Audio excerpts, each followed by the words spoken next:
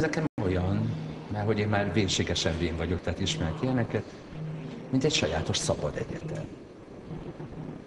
A szabad egyetemnek is mindig az volt a lényege, hogy pontosan nem lehetett megmondani, hogy kik ülnek ott, milyen a végzettségük, mi a hátterük, honnan érkeztek.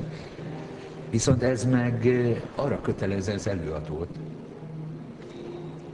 hogy találja meg azt a fajta értelmezési mezőt, amely a jelenlévők többsége számára igenis érthető, feldolgozható.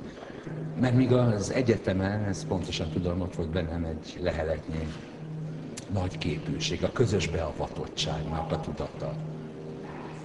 A, az úgynevezett szabad egyetem, az egyáltalán nem így működik. Nincs közös beavatottság, beavatás van.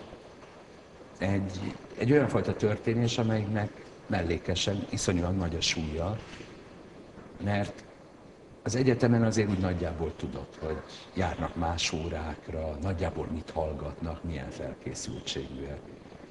Ennek egy picit nagyobb a súlya, mert, mert ha jól csináld, akkor lehet, hogy jó lökést adtál embereknek.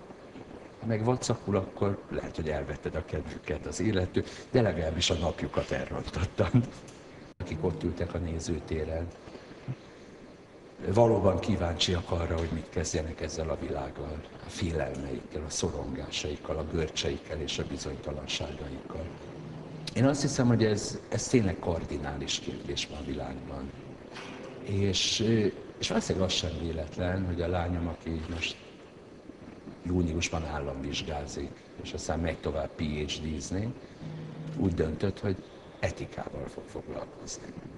Ebben fele se tudja. Nem akarom azt mondani, hogy ez mit az én hatásom, mert a fele se foglalkozott etikával.